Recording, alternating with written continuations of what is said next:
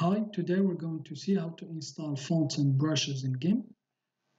So this is the brush I'm going to install, Dispersion Brush 2.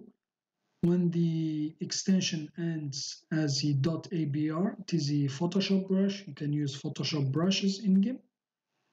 And here's the font I'm going to install. The name is Joystix Monospace.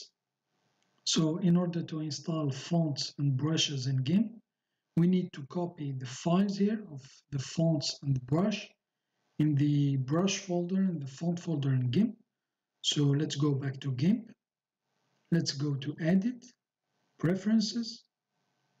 So here's the Preferences window and now scroll down. Go to Folders. Click on the plus icon here to open the subfolders here. Folders that are inside here. So here's the brushes folder. So select the first one here, C users Dell AppData roaming GIMP 2.10 brushes.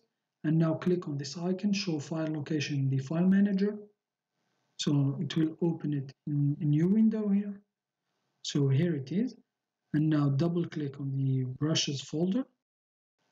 And now we're going to copy our brush here.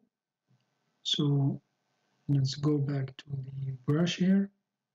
So, so now I'm going to press Control C here, and then let's open the brushes folder we just opened, and then Control V. And now let's go to the font here. So open the fonts folder, here it is. And now we're going to do the same thing as the brush. We're going to copy the font we downloaded here, this one here, and now select it, Control C, and then let's open the fonts folder in GIMP, and then here, Control V to paste it like this. So now you can close this window here, this one, and now let's go back to GIMP here, and now we don't need the preferences window, we can close it. And in order to use the brushes, in order to complete the installation in GIMP. So you need to restart GIMP. So for example, if I type here J, you won't find the Joystix font here. We just pasted in the fonts folder. So here. So now let's use any font here. Here, like this. So now we need to close GIMP and then restart it again. So I'm going to close it and then restart it and then we're going to see the font we installed and the brush we installed. Over here. Here it is. Close it and then I will open it again.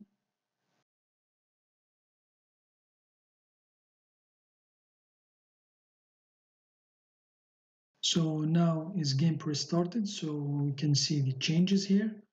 Let's open a new file go to file here new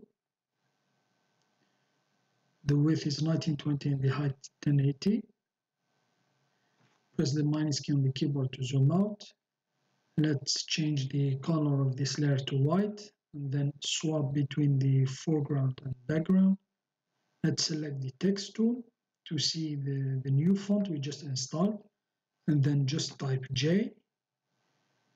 So here is the font we just installed here. So let's create a new test text box. So let's type here GIMP. So here it is. Increase the size here 200. So here's the font we just installed here. So here.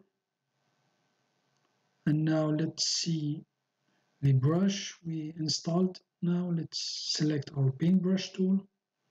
So here let's type D here to get our dispersion brushes here. So this is all the brushes that were in that file we installed here. So I'm going to try one here. So here. And now let's go to our, let's hide the text layers here. Let's select the background layer here. As you can see, the size of these brushes is pretty big. So let's reduce the size here, 352. So now let's just click here as you can see. So here it is. Now let's take another brush here. So this one here. So here. Here it is. So that's it I think. That's how you can install fonts and brushes in GIMP. Thanks for watching. Have a nice day and uh, till next time. Bye bye